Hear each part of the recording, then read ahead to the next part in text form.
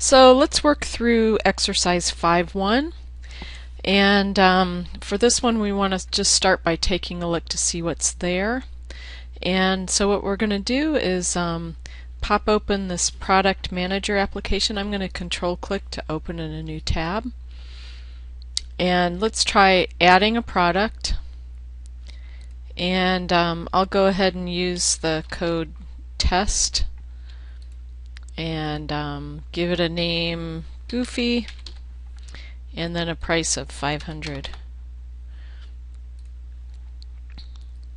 So if I go back I can see that it made it to my list and um, and then if I go back to the um, whoops didn't mean to do that if I go back to the product catalog then I can see that it's listed here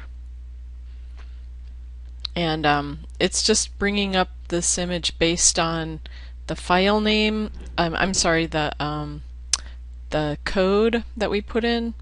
Um, so I called it test. And if you look in your images folder uh, then you'll see that there there are file names based on those codes.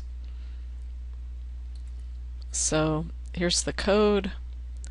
We've got Rodriguez Washburn and then if we go look in images, we'll see that the um, file names correspond to those code names. And they just happen to have a test.png in there.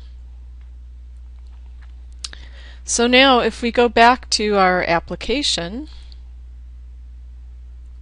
whoops, wrong page. If we go back to uh,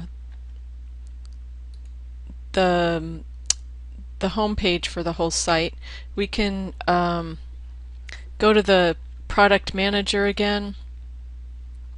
And then let's try listing the categories. And we'll see that even though our code is correct um, nothing happens on this page. So um, so what we want to do is come up with a list that works